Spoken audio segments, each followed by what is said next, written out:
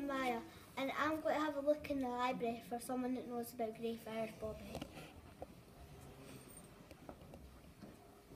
Hi, I'm Maya. Hi, I'm Connie. Do you know anything about Greyfriars Bobby? Um, yeah, I know quite a lot about it. What do you think about the memorial? Um, I think it's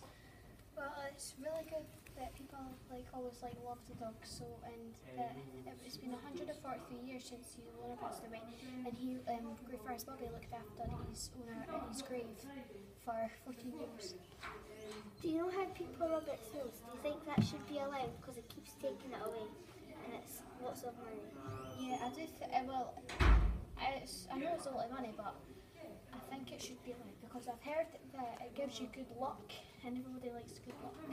So Think Greyfriars Bobby was um, a loyal dog? I do. But everybody loved the dog, and it, it was always, always nice to everybody, even if you didn't know it.